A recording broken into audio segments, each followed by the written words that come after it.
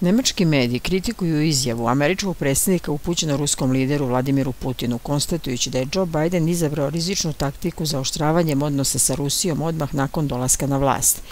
Izjava je ipak bila glupost. Bez obzira na to što mislite o ruskoj vladi, ona ima pravo da sarkastično odgovori na takve izjave američkog predsjednika. U ovom slučaju Rusija je i dalje uzdržana. Navodi se u članku lista Frankfurter Allgemeinen Zeitung.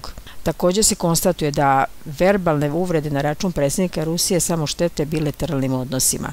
Prema mišljenju autora članka tako se dodatno komplikuje onako težak dijalog između dve zemlje, čak i u sferama gdje se očekuju neka vrsta međusobnog razumevanja.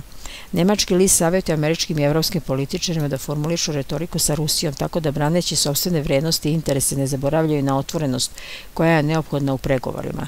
S druge strane, novinar lista Spiegel Roland Neles ocenjuje da su kontakt sa Moskvom bili težak izazov za svakog američkog lidera, ali u Bidenovom slučaju događaju se odvijaju veoma brzo. Nisu prošla ni dva meseca od kada je došao na vlast, a odnosi sa Putinom već su dostigli prvu najnižu tačku. Međutim, čak ni Biden neće već moći da vodi konfrontacijonu politiku. Rusija je previše velika i utjecena da bi se s njom u potpunosti isključila konstruktivna saradnja, ističe nemački novinar.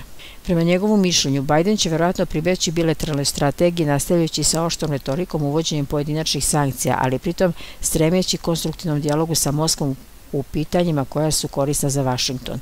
Zaključuje se da Moskva možda i neće hteti da vodi dijalog nakon verbalnih napada Bajdena, iako je Rusija do sada bila otvorena za saradnju. Situacija se sada može brzo promeniti.